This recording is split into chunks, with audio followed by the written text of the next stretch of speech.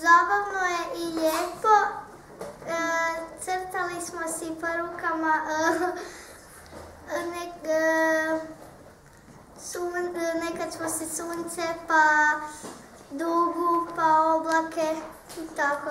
To mi se ne sviđa zato što mi je glupo i to neću nikad raditi.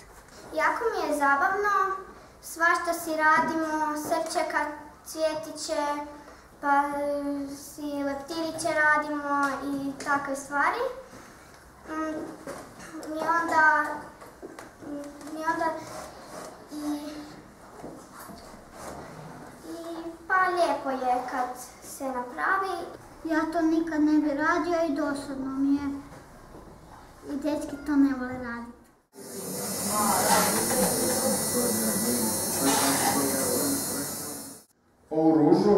To je bila zapravo priča za sebe, ona nema nikakvo značenje ni ništa. A, imao sam jednu večer, bi bilo dosta dosadno i ovaj, imao sam dva markera, crni i crveni.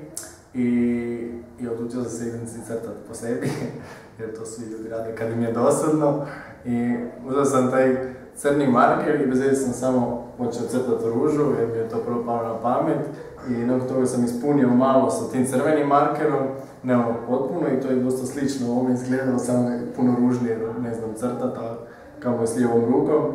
I nakon, eto, mislim da je bilo oko mjesec dana kasnije, sad već termin, to je to važno i to je to. Bila je ruža. Mislim da tetovaža nije dobra ni praktična. Ima koje kakovih stvari u životu koje se ne bi trebale znati, a sa tetovažom će biti uočljiv. To nije lijepo i ružno vidjeti, a u glavama tih ljudi nešto ne štima.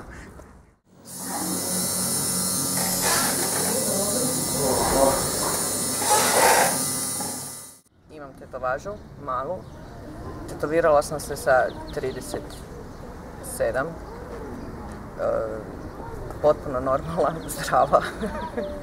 I drago mi je da jesam. E, tetovaža meni znači osobno nešto. E, na nozi je, imam znak zeca, kineski horoskopski znak zeca i tetovirala sam se u godini zeca. I mislim da su tetovaže skroz u redu. Ja mislim da je tetoviranje sasvim u redu, moj dede to ima, tako da mi ne smeta, ali mislim da to ne stoji baš svim ljudima, da bolje stoji onim malo mršavijima, da onim debljima ne stoji tako dobro. Imam pozitivan stav o tetoviranju, tetovirala sam si mama, e, iako nisam punoljetna, imala sam dopuštenje. Znači ispod 16 nikako ne primamo i sad znači dolazi tu do jednog problema, a to je da nažalost u zadnje vrijeme jako puno tih maloljetnika odlazi na tetoviranje ilegalno i to stvara jako veliki problem. Mislim da je tetoviranje lijepa umjetnost, ali isto tako mislim da su igle za tetoviranje nehigijenske i nepraktične. Ali ja se još uvijek držim onih tetovaža što se dobiju u sladoledima i žakaćim gumama. U početku svaka tetovaža boli, prvih 5 minuta dok se ne navikneš. Onda počne valjda otupi to mjesto ili nešto. Uglavnom ovo tu dio me nije toliko boljelo kao ni ovaj, međutim što si bliže ovdje, ovom prijelazu, valjda to više boli. Ovog kuta se baš sjećam da je dosta, dosta bolilo. Ali brzo je bilo gotovo. Znači, ja bi se volio tetovirati, tetovaže su mi cool i super. E, mislim da bi si tetovažu stavio na leđa. E, evo, nedavno, nedavno mi je bila krizma, pa bi si volio tetovirati i tamo bi još izabrao koju bi tetovažu. I eto, to je to.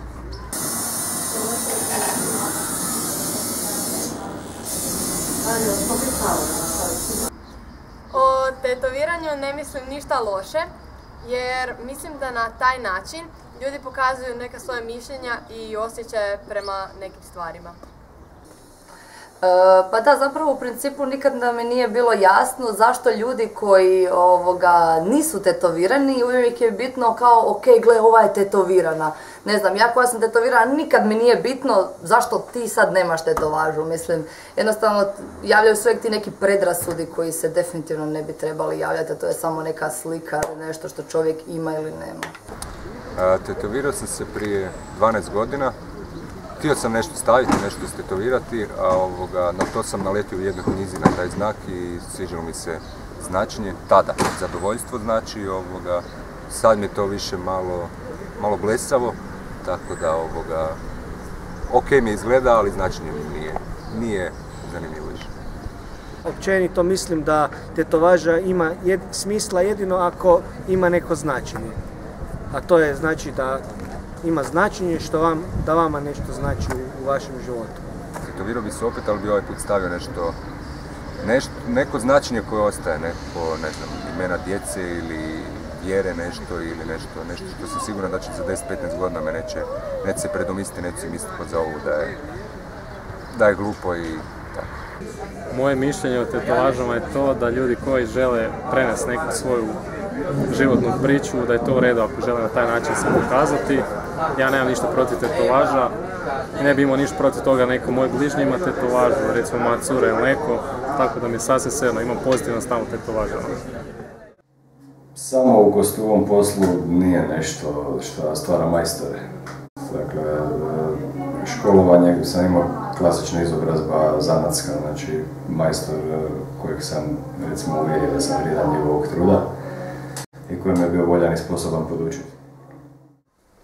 Ljudi uglavnom ne vole pričati o svojim tetovažama zato što je to ipak neka intimna stvar. To je otprilike kao da nekoga pitate, a zašto si si baš takvu frizuru napravio ili zašto baš ta šminka, ta boja kose ili nešto slično. moje tetovaže meni znači, moja tetovaža svaka meni nešto zapravo znači i dobro mi je, mislim, drago mi je kad neko kaže lijepa ti je tetovaža, ali željela bi da zapravo to ostane samo na tome.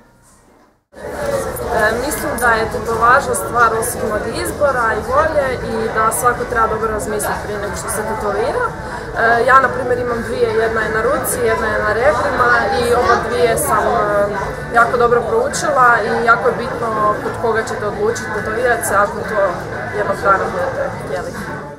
Većina mojih putovanja se svodi na studijska putovanja u recimo nekakve krajeve gdje postoje tradicije tetoviranja. E, e sam bio do sad e, tipa Samoa, e, Novi Zeland, to sam više, više puta i poduže. Borneo, kontinentalna Malezija, Tajland. Znači, to je ovo za sad od nekakvih daljih putovanja a ovo bliže po Europi uglavnom, znači svi veći europski gradovi. E, pa mislim da da, tetoviraju se uglavnom, zapravo se tetoviraju se svi, nema pravila, nema pravila za tetoviranje. Tetoviraju se od poslovnih ljudi koji rade do dućanu do, ne znam, ljudi raznih subkultura, punkera, metalaca, repera ili ne znam. Znači, jednostavno nema pravila. Osoba koja radi u zetu ili u policiji, čak i kod nas imaju popust na branitelje, policajce, ljudi u struci. Pa dobro, problem je u tome što učitelji moraju biti model djeci, znači moraju uh, prenositi socijalne norme i društveno prihvaćena ponašanja, a tetoviranje nije socijalna norma, to nije uobičajeno ponašanje. Pa se sad zapravo ja sama pitam da li je tu važnije uh, izražavati uh, neku svoju individualnost, da li učitelj ima svoje osobno pravo i slobodu biti ono što je, ili se mora zapravo voditi socijalnim normama i djeci pokazivati, odnosno nuditi ono što se u društvu jedino prihvaća nema dva ista klijenta, nema dva ista lika. E, nekad je interesantan dizajn na čovjeku, nekad priča koja stoji iza dizajna, nekad sam čovjek kao čovjek e, je osebujan, e, zanimljiv, smiješan, ne znam. Pa znači, bilo je tu jako puno neobičnih tetovaža, kao na primjer WC školjka, spajalice koje su onako spojene jedna s drugom i idu kao narukvica oko ruke ili oko noge ili tako nešto slično. Bilo je tu jako puno i, i tetovaža koje su za okladu napravljene.